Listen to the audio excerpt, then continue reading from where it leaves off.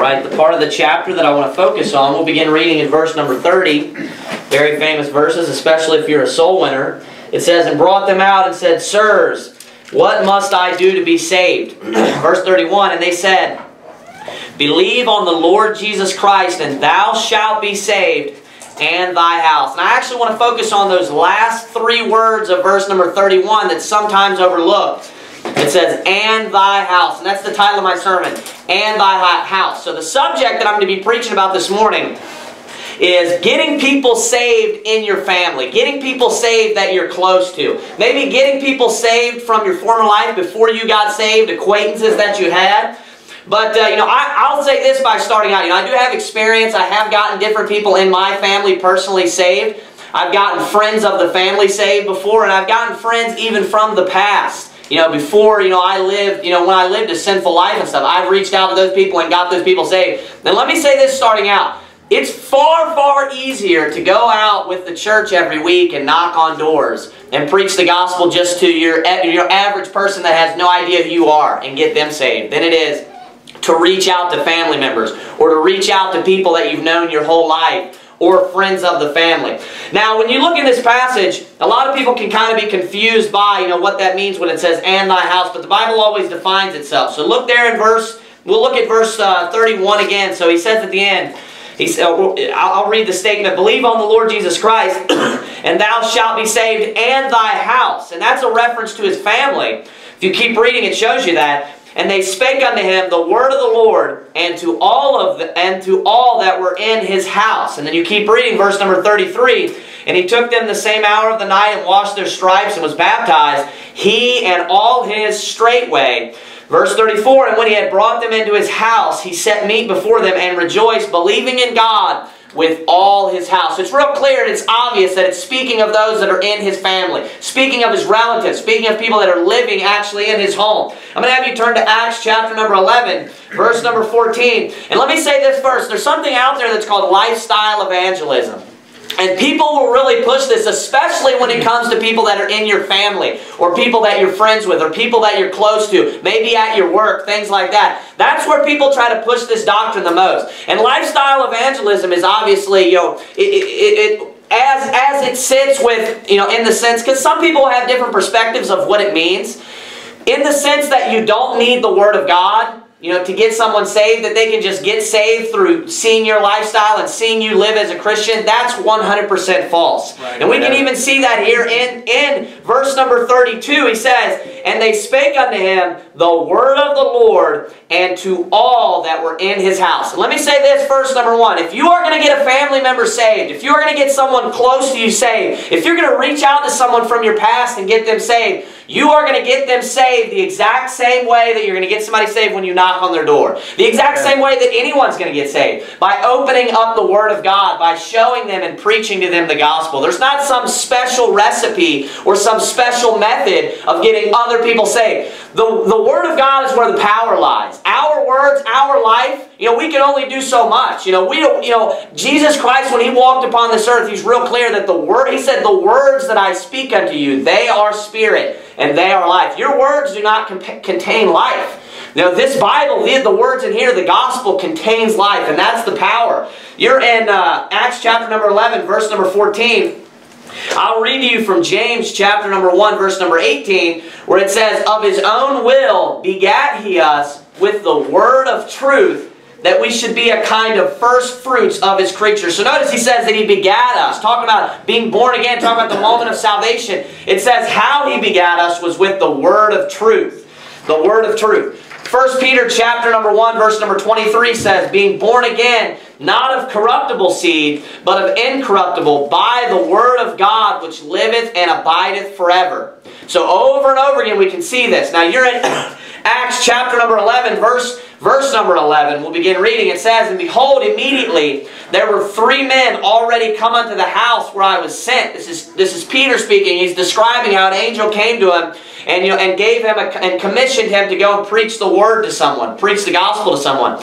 I was sent or I was, and they sent from Caesarea unto me, and the Spirit bade me go with them, nothing doubting. Moreover, these six brethren accompanied me, and we entered into the man's house, and he showed us how he had seen an angel in his house, which stood and said unto him, Send men to Joppa and call for Simon, whose surname is Peter. Now watch this. Who shall tell thee words whereby thou and all thy house shall be saved. So we have the subject of the sermon there towards the end too. Notice that. He says, and all thy house shall be saved. If you're going to get family members saved, if you're going to get people at the door saved, if you're going to get anyone saved, it's going to be with the Word of God. Amen. He says, Who shall tell thee words? Now, if you want to get a family member saved and you care about your family member, do you know what the very first step should be? You should start reading the Bible. You need to know these words, that means. That means you need to know the gospel. Amen. You should start going out soul winning and start practicing, you know, the gospel. And here's the, here's the thing you know, people need to just face it because a lot of people are just too nervous and they're too scared to go to, you know, the, their family members. They're too scared because, like I said, it's a little bit more difficult. A person that's known you your whole life to confront that person and give them the gospel. Maybe you just got saved recently. That's going to be much harder. But you need to just face it that the chances that someone's going to go to your family and give them the true gospel is very, very slim. So if you're saved and you're close to your family and you have that door open, you're probably the only only opportunity that that person has to get to heaven. I mean, let that sink in. It literally entirely rests upon your shoulders. What are the chances? I mean, if we were to look at all the doors in America and how many doors are going to be knocked in the next, you know, 10 years, 15 years, however long it takes for your mother, your father, if, if that's who we're speaking about, whoever it is, to pass on, what are the chances they're going to have someone with the right gospel come preach? Very, very slim. Yeah. So people need to wake up. You know, people need to know and care. And obviously, we care about our family. We want to get our family saved. The very first step to prove you care about your family is you need to start going soul winning. You need to start learning the gospel. Watch demonstrations online. There's not a lack of resources. No one has an excuse. You can get a Bible very easily. You know, you can get on YouTube and watch demonstration videos. You know, you can go to your local church and learn soul winning from them. You know, we need to take it serious if you care about your family members. I have you turn to, uh, let me have you turn to Proverbs chapter number 18, verse number 19. Proverbs chapter number 18, verse number 19. Excuse me. And some people get this attitude too. After they're saved, you know, where, you know, after they, they're saved and they start cleaning up their lives, where they just want to completely distance themselves in every way from their family. Now, there are very limited cases. There are some cases where your family is just like, you know, just living in a constant state of sin. Like you can't be around them unless you're just going to vex your soul. But that's not the average person. That's not your average person. Maybe that's you. Maybe your family, you know, maybe you have some person that's like a reprobate in your family. You know, that's like a, you know, just a horrible person. Maybe that's your parents. Well, then reach out to other people in your family. You know, uh, I have a I have a, a, large portion of my family saved, and I have a very large family. I grew up an independent Baptist, but I also I can say that most people definitely have a lot of people in their family that's unsaved. Because even I have a lot of people in my family that's unsaved. And my grandpa and my, my grandma and his brothers and sisters were independent Baptists. So I grew up being an independent Baptist, and I still even have a ton of my family that's unsaved. There's plenty of people that we can reach out to. There's plenty of people out there that we can reach out to. Now, point number two is when you're giving. Number one, like I said, when you're, you know you're going to have to give the gospel to them. They're not just going to see your life and then just get you know be converted. That's not how it works. Point number one is you need to give them the gospel. Point number two is you cannot burn the bridge. You cannot offend them. And I'll tell you what I'm talking about. Read here in verse number 19. It says, A brother offended is harder to be won than a strong city. Excuse me. And their contentions are like the bars of a castle. And what happens a lot of times, as soon as people get saved, they get very zealous about the Bible. And they start learning a lot. You know, they start going to church, and what can happen is people can become very puffed up with knowledge. And the Bible warns about that in 1 Corinthians. It talks about being puffed up with knowledge, you know, but charity edifieth. Knowledge puffeth up, but charity edifieth.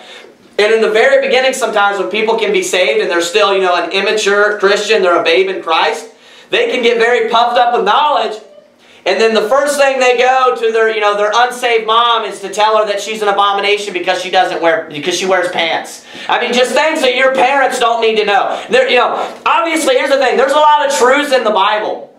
But it's not going to help your parents. It's not going to help your dad, you know, to go to him and to just rip on whatever sin is in his life. Why did you only have one kid? You know, you why are you using birth control? That's not going to help your parents. That's not what they need to hear. That's not going to help them at all. You know what they need to hear is they need to hear the gospel. And if you go to your parents, before you preach the gospel to them and you go to them and you just start ripping on them and just bringing up all these sins and stuff like that, you know what's going to happen? You're going to make the chances that you're going to be able to preach the gospel to them, that they're actually going to listen to you and to get saved very, very slim. Because like it says right here, a brother offended is harder to be won than a strong city. It's talking about in a battle. You know, how hard a strong city is to break into. A brother, when you offend someone, it's that much harder to win them to the Lord. It's that much harder to get that person saved. Turn to 1 Corinthians chapter number 9. 1 Corinthians chapter number 9. You need to use discernment with these type of things. And a couple of other points is you shouldn't be trying to preach the gospel to them every single day. If you preach the gospel to them one day and you're able to go through it with them and, and they reject it, I wouldn't go back to them literally every single day. Because there's going to become a point. I mean, if they understand it, they understand it. I'm not saying never preach it to them again. But I'm saying you, there's a point where you can run them down with it. You know, maybe come back to them in, you know, in a couple of days. Maybe come back to them in a week. Maybe come back to them, you know, and especially if they're rejecting it, especially if they don't want to hear it. That makes it even harder if you just keep coming to them every single day. Hey, you know, can I tell you how to go to heaven? And they're just like, I told you yesterday I don't want to hear it. You know, sometimes you have to wait for somebody to get into a crisis and then they'll come to you on their knees and asking you. Sometimes it takes, you know, a, a, death in the family for someone to be very interested, for it to hit home, for them to come to the realization, hey, I'm going to die someday too. This is important. You know, eternity is important. You know, I'm not, if the person will listen to you and they're not, and you know they're not going to get offended, well then obviously in that case it doesn't really matter how many times you preach in the gospel. But that's not the majority. The majority of people, if you keep trying to come to them and it becomes where they understand it very well and you're just to the point of badgering them, then you can't force someone to believe. That's a, that's a way that I've seen a lot of people get offended. So you're in uh, 1 Corinthians chapter number 9. We'll begin reading in verse number 19. it says, For though I be free from all men, yet have I made myself servant unto all, that I might gain the more. And unto the Jews I became as a Jew, that I might gain the Jews. To them that are under the law, as under the law, excuse me, as under the law, that I might gain them that are under the law. To them that are without law, as without law, being not without law to God, but under the law to Christ, that I might gain them that are without law. To them, to the weak became I as weak, that I might gain the weak. And then watch this statement. I am made all things to all men that I might by all means save some. And notice how he started out this particular passage right here. He said that he is a servant unto all. Our job should be to try to win them to the Lord. Our job and what we would desire would be that we would want them to get saved. You know, we're not trying to like win an argument. It shouldn't be about your pride. It should be about that you care and you have compassion for your mother. You care and you have compassion for your uncle. You care and you have compassion for your nephew. You know, you should actually desire to get them saved. And a lot of times when people just want to bring up you know, something that they just know is going to be offensive. A lot of times when people end up being offended by someone that's trying to, you know, maybe give the gospel in some sense, in some aspect, it's oftentimes because of their pride. It's oftentimes because, you know, they just want to win an argument or they just want to get into an argument. But we should be to the point where, hey, we're going to try to relate to them in any way possible. Like he says here, and even even says, to them that are without law, as without law. Talking about like heathen, talking about barbarians. People that live a very sinful life. But notice what he says, though, it's important in parentheses. Being not without law to God, but under the law, but under the law to Christ. So he's not breaking the law. He's not living a sinful life himself. You know, but when he comes in, you know, and he may say he's given his given the gospel to people at work. He was a tent maker, right? You know, let's say that I went into a construction company and I'm giving the gospel. There's a lot of rough people. I worked construction almost my whole life, and a lot of people that work in construction are pretty, they have a pretty rough background. So they might be listening to bad music. If I'm going to walk up and try to give the gospel to my coworker, I'm not going to walk up and be like, hey man, turn that filth off. I want to talk to you for a minute. I mean, that's not going to work, obviously. You have to use discernment. You know, my, if my purpose is to get that person saved, you know, I'm just going to try to ignore those things and just go to him and just preach the gospel to him. Same thing out soul winning. You know, I have little tips and things that I do out soul winning. You know, things that I personally think are petty, you know, to worry about, but I do them anyways. See, I wouldn't care if someone walked through my lawn or walked through my yard. Maybe you care about that. I personally would not. But when I go soul winning, I never walk through people's yard. And the reason why is I don't want someone to see me walk through their yard and then not listen to me give them the gospel because of that reason. That's stupid and that's silly. Now, I think it's dumb, but that's not worth it. I would rather see that person get saved. Kind of like, you know, uh, you know this I can more understand. Like if their garage door is open and you walk into their garage door and knock on the door. I personally probably wouldn't care too much either, but then also I don't want somebody just walking around snooping around my property either. But if somebody walked into my garage door and knocked on the door, I might feel a little bit funny about that. But either way, a lot of people don't like that. I would never do that. Because I don't want to offend this person and for them not to get saved because of that reason. That's not worth it. You know, the purpose should be you should do whatever you have to do to get someone saved. You should, you know, you should try to relate, relate to people in whatever way to try to get them saved. You should, the, you know, the point shouldn't be just to offend someone. And like I said before, that's all, that always has to do with pride. Mm-hmm. So let's go back. Uh, let's turn to 1 Peter chapter number 3, verse number 1 real quick. 1 Peter chapter number 3, verse number 1. So you don't have to just go to your parents, go to whoever, and just tell them everything that you believe. And this isn't a compromise. These are two entirely different things. This is a person that's unsaved. You know, they don't need to know right off the bat the reprobate doctrine. Obviously, if somebody asks the question, then you can explain it to them. You can teach it to them. But I'm not talking about someone asking a question. I'm talking about the person you walk up to that you're just trying to give the gospel to. A parent, you know, uh, an uncle, whoever it may be, a co-worker, people that are close to you. So in 1 Peter chapter number 3, verse number 1, I know a lot of people, excuse me, have different opinions about what they think this particular passage is, is speaking about. I'll read it first. It says, Likewise, you wives, be in subjection to your own husbands, that if any obey not the word, they also may, without the word, be won by, excuse me, be won by the conversation of the wives. Now, I know some people believe that this is speaking about salvation. Other people do not. Other people think when they say be won, you know, that he's talking about, you know, like maybe he's just being disobedient to the word, like maybe certain commandments in his life. I personally believe that the husband is not saved. And I'll show you why quickly, and then I'll give the application. So notice it says, if any obey not the word. Now, in different epistles and in different books, depending upon the author, they have different styles they have different themes.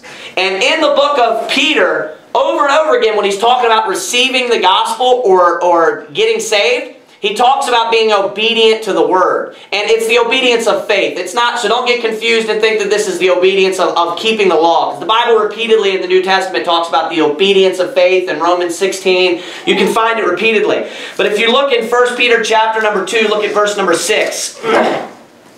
Wherefore also it is contained in the Scripture, Behold, I lay in Zion a chief cornerstone, elect, precious. Watch this. And he that believeth on him shall not be confounded. So watch, this. that's the person that's believing. Now watch what it's contrasted with, the person that's not believing.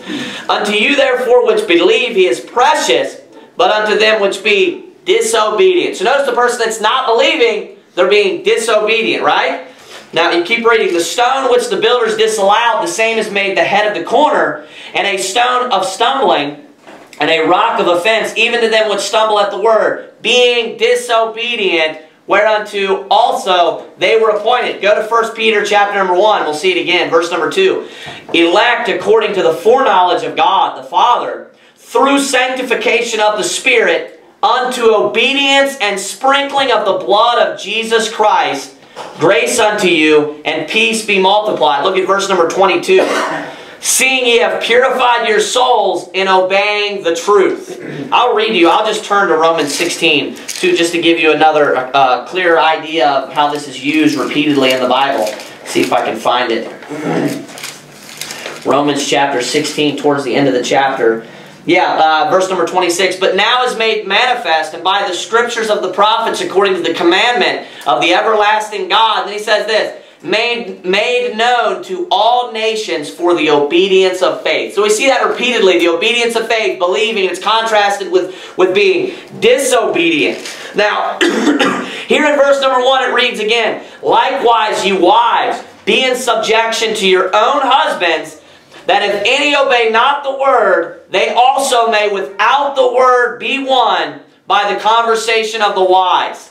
Now, I'll tell you why. You know, uh, I'll, I'll, first I'll tell you about this. Like I mentioned earlier, lifestyle evangelism is something that's brought up. And it's brought up mainly in like new evangelical churches. But the sad thing is that even some Baptists, even like independent Baptists, will try to teach lifestyle evangelism. And the lifestyle evangelism says that you don't need to preach the gospel to people. If you just live your life the right way, if you just live your life according to the Bible as a Christian, then you know you can convert people that way. And you'll have people come to you and ask you about Christianity and ask you about, you know, what, you know, you know, what is it that just makes you so great? And then they're just going to fall down on their knees in front of you and just say, "What must I do to be saved?" That's a total fraud. And you know the type of people that come up with this garbage? They're the type of people that are lazy. They're the type of people that don't want to go out and they don't want to go door to door. You know, you know the other type of people? Number two, they're the type of people that are ashamed of God's word. That they're too afraid to open their mouth boldly to their coworker or they're too afraid to walk over to their family member's house and preach them the gospel. So they come up with this garbage of lifestyle evangelism. And when you look at like the churches, because I actually just typed it in yesterday, lifestyle evangelism, just to see what would pop up. And there's tons of ministries like named lifestyle evangelism. The first picture I clicked on is some lady wearing pants just standing there. And I'm like, what in the world? Like the one picture you want to show us of lifestyle evangelism, of what is supposed to make you try to stand out and be, and be different? I can show you a verse in the Bible in Deuteronomy 22.5 that says that God says you're an abomination. It's like, what in the world? Like, that's the exact opposite of what you should be doing, even if you did believe that and you thought that it worked. These people, you know, this kind of stuff, that's my point is this. It's not serious. It's just because they're lazy and it's yeah. just because they're ashamed of opening your mouth to, to make known the mystery of the gospel, like Paul said. But I said that to say this lifestyle evangelism is a complete joke. But there is an aspect to when you preach the gospel to someone, if they don't receive it, right, at that moment, let's say it's a coworker, and you preach the gospel to one of your coworkers, they, you know, they don't receive the gospel right away. How likely do you think they would be to believe the gospel that you preach to them, believe the Bible, if later on they saw you like stealing stuff from work? Do you think they're going to want to listen to you? Mm. No. And that's what this passage is teaching. A lot of, and, and lifestyle evangelism, that's why I explained that first. Lifestyle evangelism actually uses this verse.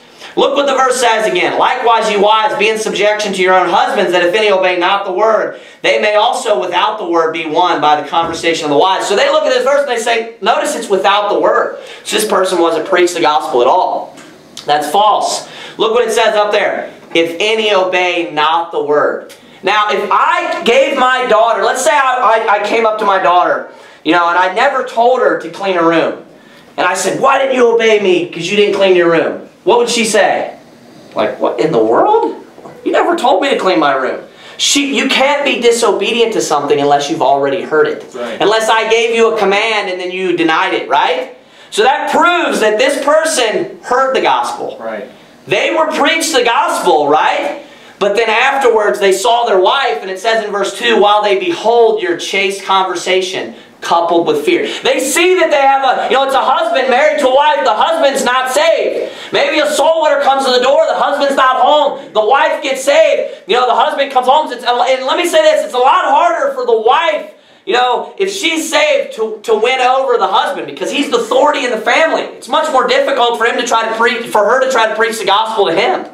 So maybe the husband comes home and he's not saved. She tries to explain it to him and he just doesn't want to listen to it. You know, if, if she gives him the gospel a couple of times and then she starts noticing all these changes in her life, like, man, you know, the meals have been good lately. Or, you know, she, you know, all kinds of stuff. You know, she's really, she's being obedient to the things I tell her to do. You know, all these things, like something's really changed. Like life is much better now. She's happier. I'm happier. You know, maybe there is something to this Jesus thing. Maybe there is something to the gospel.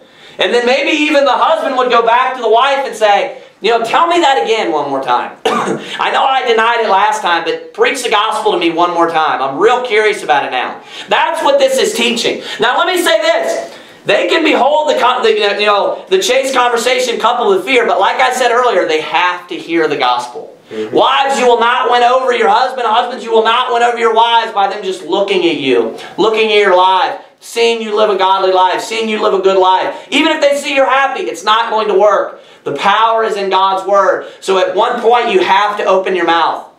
You have to preach to them the gospel.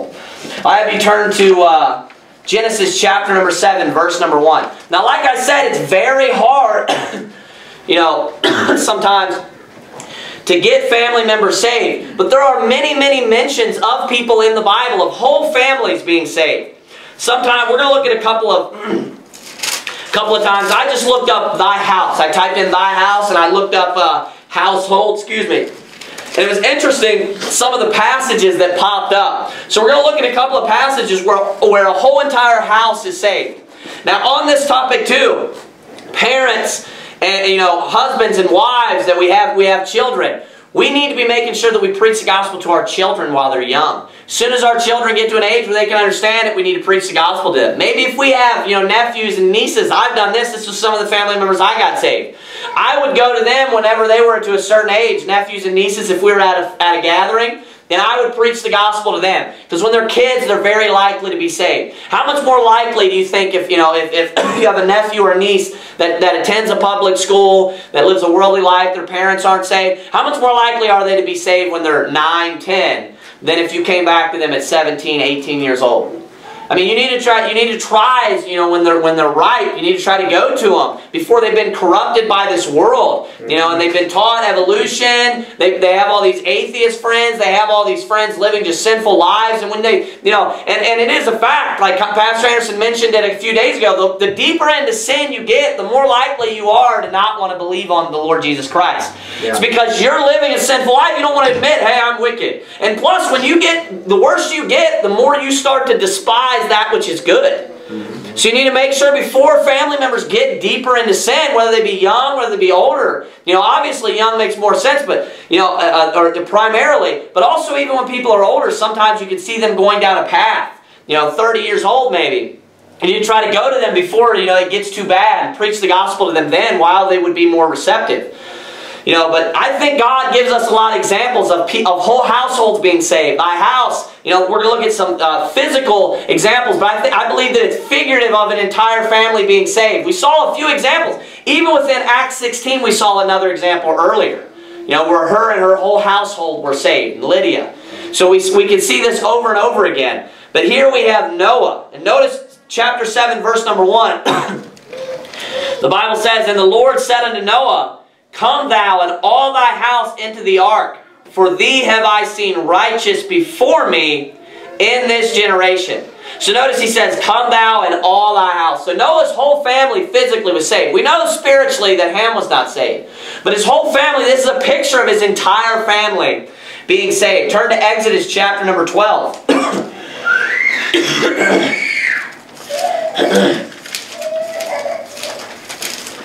Exodus chapter number 12. well, we'll start reading in verse number 1. We'll read uh, a portion of this passage. and the Lord spake unto Moses and Aaron in the land of Egypt, saying, This month shall be unto you the beginning of months. It shall be the first month of the year to you. Speak ye unto all the congregation of Israel, saying, In the tenth day of this month they shall take to them every man a lamb, according to the house of their fathers, a lamb for an house. And if the household, so we see that word again, And if the household be too little for the lamb, let him and his neighbor next unto his house take it according to the number of the souls.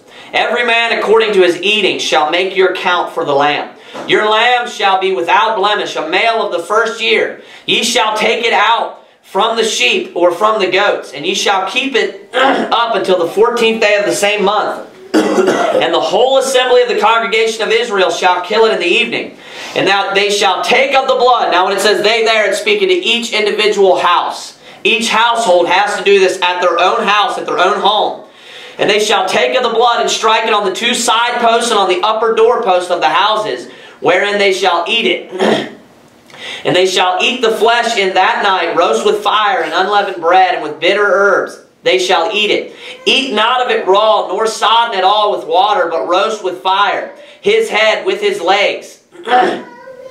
and with the purtenance thereof. And ye shall let nothing of it remain until the morning, and that which remaineth of it until the morning ye shall burn with fire. And thus shall ye eat it with your loins girded, your shoes on your feet, and your staff in your hand. Ye shall eat it in haste. It is the Lord's Passover. For I will pass through the land of Egypt this night, and will smite all the firstborn in the land of Egypt, both man and beast. And against all the gods of Egypt I will execute judgment. I am the Lord. And he says, And the blood shall be to you. And I want you to watch this next word. I'm going to reference, reference something in just a moment. To you for a token upon the houses where ye are. And when I see the blood, I will pass over you, and the plague shall not be upon you to destroy you when I smite the land of Egypt. So this is the Passover. This is when Israel was in bondage in Egypt.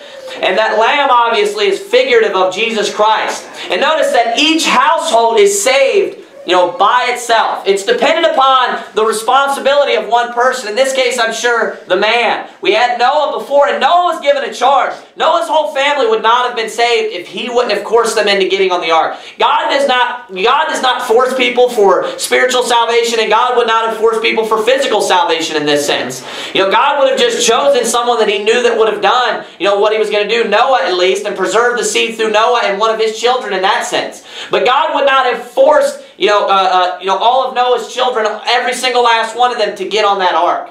That wouldn't have happened. And here, God did not force people. I, I don't, you know, it doesn't mention it anywhere, but there was probably a couple of families where people died in Israel, where they didn't, they didn't do what God said, where they didn't have the blood with basin, and they didn't take, you know, the hyssop is what they're supposed to take, which is like a, it's it's a native plant to, and, and like the Mediterranean area. It's like a purple, it has purple blossoms. They would dip the hyssop, and then they would, you know, they would strike it on the upper doorpost and then on the side post. And I bet there were families that didn't do that and that died that night, just like the Egyptians did as well. So notice there's a certain responsibility that rests upon, you know, the man, which I would say here. But if the man's not saved, you know where that responsibility rests? For, her, for the spouse, it rests upon the woman. Go to Judges, or uh, Joshua chapter number 2. Joshua chapter number 2. Whoops.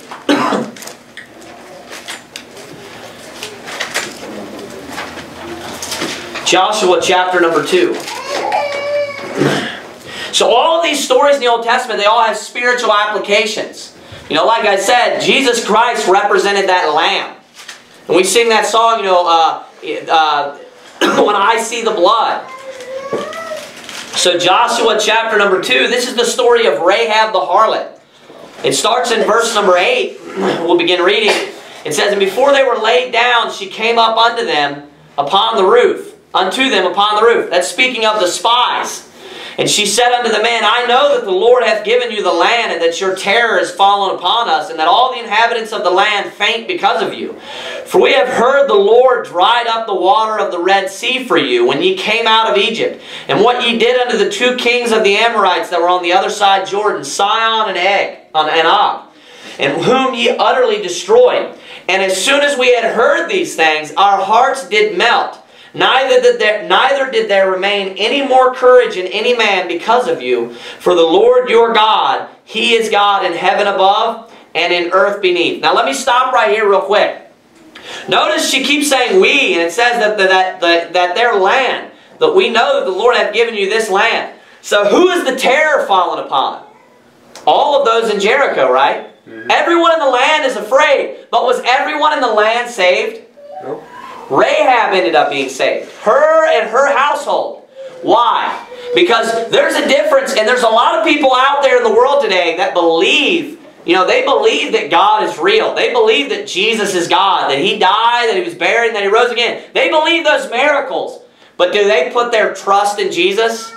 They do not. They're trusting in themselves. They're trusting in their baptism, the good works they've done. Just like we see here. These people believed that He was the God of heaven and the God of earth. They believed that He did the miracles. Fear had fallen upon them. Obviously, they believed, you know, all the miracles that had taken place in Egypt. But they chose not to trust God in this case. You know, so that's one of the that's important spiritual application we can get out of that. Look at verse number 12. Keep reading.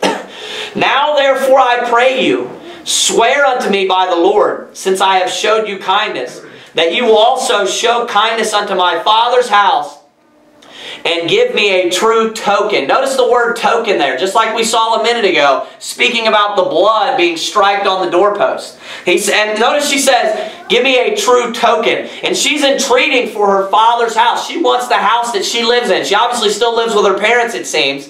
And she wants them all to be saved.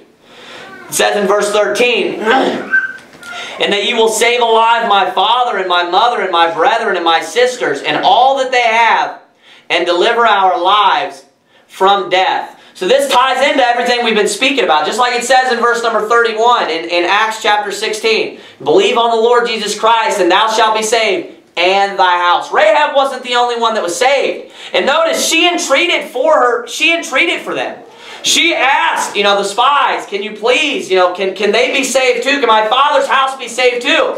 This is the last point of my sermon of what one of the things we need to do you know, to, to try to get family members saved is to pray for them. Amen. We need to pray to God and ask God that He would, He would bring them to a situation where they would listen. That something would happen in their lives, that, that, that we would just be given the perfect opportunity to give them the gospel. God can't force them to believe, like I said. God can't force someone to be saved and, and to accept Him. But He can, you know, He can create the, the, the right atmosphere or the right environment for you to be able to preach them the gospel. Now notice she entreated for them. Keep reading here. It says, that the men answered her, Our life for yours. If ye utter not this our business, and it shall be when the Lord hath given us the land that we will deal kindly and truly with thee. Then she let them down by a cord through the window, for her house was upon the town wall. And she dwelt upon the wall, and she said unto them, Get you to the mountain, lest the pursuers meet you, and hide yourselves there three days, until the pursuers be returned, and afterward may ye go your way. And the men said unto her, We will be blameless of this thine oath which thou hast made us swear. Watch what he says. Behold, when we come into the land, thou shalt bind this line of scarlet thread in the window which thou didst let us down by. And thou shalt bring thy father and thy mother and thy brethren and all thy father's household home unto thee. And it shall be that whosoever shall go out of the doors of thy house into the street, his blood shall be upon his head and we will be guiltless. And whosoever shall be with thee in the house, his blood shall be on our head, if any hand be upon him. Now remember the Passover that we just read about. Remember they were supposed to take the blood. What color is blood? It's red. It's scarlet, right? And they were supposed to strike that on the doorpost, the side doorpost, and the upper doorpost. And God said that that was going to be a token. And harlot and, and the harlot, Rahab the harlot here, asked the spies, give me a true token. You know what they said? They said, bind a scarlet thread upon your window. You know, just like putting something upon your door. That scarlet thread represented, just like the Passover did, the blood of Jesus Christ. It represented that that house was covered. Just like if someone would have walked out of the house when, the, when God was passing over, when the death angel was passing over Egypt, that person would have died. The same thing would have happened here. He says that if anyone walks out of that house, his blood is upon his own head. That person would have died in the battle. They had to stay in the house, just like they had to stay in the, in the ark.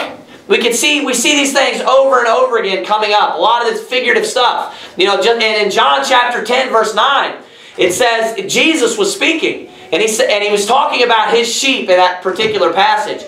And he said, I am the door. By me, if any man enter in, he shall be saved, and shall go in and out and find pasture. So he said, I am the door. They had to stay in the house. Now keep your hand here. I want to show you something really, really interesting. And turn over to Proverbs chapter number 30. Proverbs chapter number 31 actually. So notice that that that that uh, that thread was scarlet. I don't believe that there's any coincidences in the Bible. It was a scarlet thread. And notice that her entire household, keep that in mind as well, that her whole household was going to be saved. Everyone that was in that house. Look at Proverbs chapter number 31. Proverbs chapter number 31, and it's verse number. I have it on here. Give me one second. Proverbs chapter 31. I'll have to find it. I don't have it on my, in my notes.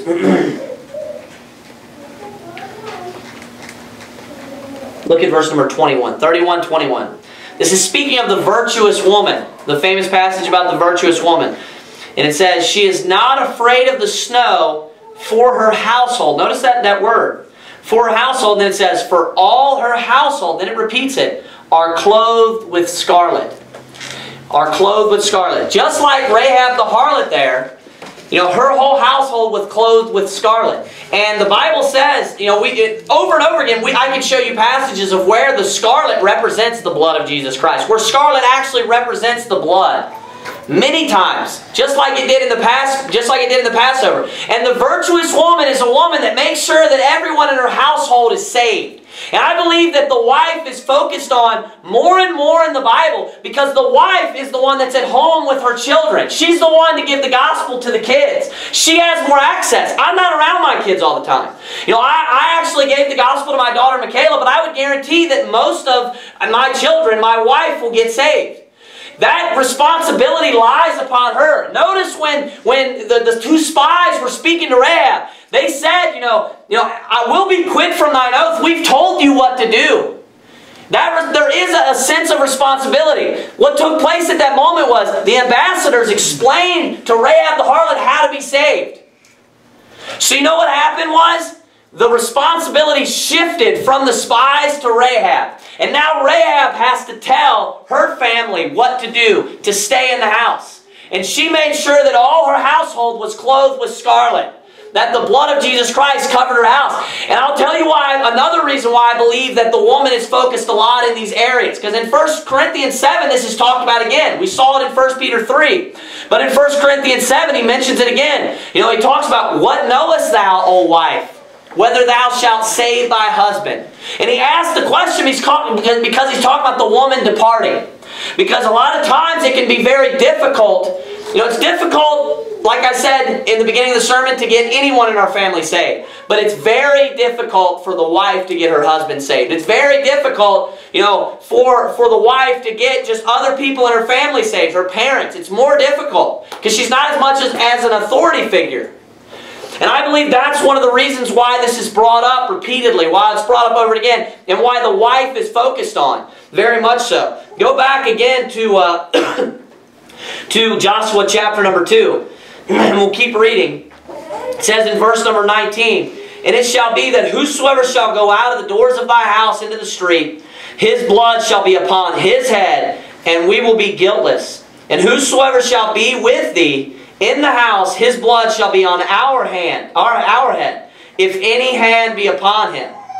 And then it says in verse 20, she says, and, and they, they're still speaking, and if thou utter this our business, then we will be quit of thine oath which thou hast made us to swear. Now watch this. This will kind of make our sermon, my, my sermon uh, come full circle. The sermon come full circle. It says in verse 21, And she said, According unto your words, so be it. Now I want you to think about this. What was Rahab trusting in? She was just trusting in just the words that this that these two men spoke to her, right? Mm -hmm. Just the words that they spoke to her. That's all that she was trusting in. She don't have a clue who these people are. Just two men that came into the city. You know, she but she had faith, right? Full circle, just like the very first point. If you remember, your family will never get saved. Wife, husband, whoever it may be. You know, uncle, they will never get saved until you open your mouth and preach the gospel to them. They have to hear the words to be able to believe in the words. You know, number two, after you preach the gospel to them, don't burn that bridge. Don't just try to offend them. Uh, uh, try not to offend them. Try to be like Paul said, I made all things to all men that I might that I might by all means save some. Try not to offend your family. You know, preach the gospel to them. If they reject it, give them a little while, give it to them again. You know, if they just act real crazy about it, you know what happens here? I bet that all of Rahab's family was not saved. But do you know what I bet happened after this? After that, you know, literally the entire city is flattened and then there's like this one little tower where Rahab and her family lives and her family sees everything that's going on. I bet they believed on Jesus then. I bet they got saved then. That's the best time. And I had one person that was like a, he was like a friend of the family kind of, very close to my family, who was like one of the least likely people to get saved. Like, like I never thought this guy was going to get saved, to be honest. And he had like something going on where he was like having seizures. He doesn't have epilepsy, but he's having seizure like all the time, had no clue what was going on. He's like getting real disoriented. You know, he thought he was like getting ready to die. He was taken into the hospital. He's in the hospital. Not many people were visiting him. And I came in there and I was like, hey man, you know, I know you don't go to church. I know you kind of, you know, because he lives a very wicked, sinful lifestyle. You know, I said, I know, I know you, you know, I, I've tried to talk to you about the gospel before. You weren't very interested. I was like, but don't you think it's a little bit more important now? And he was like, yeah, he was like, tell me, tell me now. He was, you know, and notice these are all crises that are going on. Mm-hmm. Everybody's willing to listen to Rahab, you know, when they know that the soldiers are coming. When all of a sudden, when they're marching seven times for seven days around the city, they besieged the city. You know, once the, the, the you know the water started pouring down, you know, once you know, uh, you know, when Noah came in, once you know, once the whole congregation of Israel had found out that there's a death angel that's passing over. I'm sure everyone that was in the father's household, maybe the rebellious sons, maybe whoever else, I'm sure they listened to their dad a little bit more at that time. A good time to try to give the gospel to your family members is when a crisis is occurring, when something bad is going on, because it kind of shakes them in their reality. People try to avoid eternity. I can see it on people's faces all the time. You know, when I when I ask them, you know, if you were to die today, you know for sure you're going to heaven. I can see it on people people's faces all the time that they haven't thought about that in a long time. Yeah. And I even say to people when I when I'm in Revelation 2010, you know, I read to them, you know, it says, the devil that deceived them was cast into the lake of fire. And brimstone, it says, and shall be tormented day and night forever and ever. I say to the person when I'm preaching the gospel to them, I say, if you were to die today, how long are you going to be dead? And they're like, forever. And I could see like it kind of like a light bulb come on. And they really think about that thought, like you're going to be dead forever. Then I say, okay, so if you were to die and go to hell today, how long would you be there, according to the Bible? Forever. This kind of stuff resonates with people, especially when they're going through a problem in their life. That's the best time to go to a family member and try to preach the gospel to them. But make sure you don't burn that bridge. If I would have offended him before that case, do you think he would have listened to me, even in that situation? Probably not. He probably wouldn't have wanted to listen to me. You know, if he would have known that I was like a complete hypocrite, if I lived a very sinful life and then I would have come to him and tell him about Jesus, you know, people that don't know anything about the Bible and don't even understand salvation already and they think that it has something to do with being good, they're not going to think that I know anything. Of course not. Because they don't understand the gospel in the first place. You know, they, they, wouldn't, they wouldn't be interested. So we have to make sure, you know, you know, lifestyle evangelism in the sense that your lifestyle is not going to get anybody saved. Is, is that's that you know lifestyle evangelism is a fraud in that sense. But you can definitely you know by living as a hypocrite and by living a sinful, wicked life, you can cause people to just not want to listen to what you have to say when it comes to hey, let me open the Bible and show you what the Bible says. Amen. And then you're out drinking with them the night before. They're not going to listen to you. You know, we, these are different steps in making sure that you get family members saved. And the reason why I bring these up is because family members, these, these are people that are close to you. They're going to know these things about your life. They're going to know that these things are happening, you know, in your life. So, number one, you have to open your mouth and preach the gospel. You can't just wait for someone else. If you care about your family, just like Rahab had the responsibility of getting all her family in the household. you have the responsibility. I believe there's a special responsibility if you're saved and you have access to your family all the time. I believe there's a special responsibility for you to preach the gospel to your family. Number one. Number two, don't burn the bridge. Don't just go up to them and just start offending them with all these things you know. Even if they, they go to church and they, they think they're, you know, they think that they're some sort of Christian. Don't just go up to them and try to just like string them out on all the doctrine you know they're wrong on. That's not going to help anything. Yeah. They don't need to know just everything that you believe. That's not going to help them at all, period, if they're not saved. Number three, live your life right. Don't be a hypocrite. You know, just like it said, as they behold your chaste conversation coupled with fear, speaking to the wife. You know, and then also pray for them, entreat for them. Rahab had to ask the spies. It may have only been Rahab if she wouldn't have asked the spies. Save me and my household, my household and I. You know, pray for them. Pray that God would give you an opportunity for these things. And the best time to give the gospel to someone is when they're in some sort of crisis, when they're in a hard time in their life. That's the perfect time. I've, I've heard of many stories of other people, even outside of my situation. So let's bow our heads and have a word of prayer. Dear Heavenly Father, God, we thank you for this day. Dear Lord, we thank you for your saving power and your word. We thank you for salvation by grace through faith. We thank you for all the amazing pictures of salvation, all the amazing just, just correlations in the Bible and comparisons and parallels, dear Lord. We just thank you for it, dear Lord. We thank you for our family, and, and if there's many people uh, that have many family members that aren't saved, just give them the, the motivation and the urge to want to have them uh, in, in, heaven with them and, and, and uh, provoke them to, if they don't know the gospel, to learn the gospel. Provoke them to pray for them more often, dear Lord God. Provoke them to have compassion for them, dear Lord, and just help us to live right, not to be hypocrites, and not to just go around offending people. We love you in Jesus Christ's name. Amen. Amen.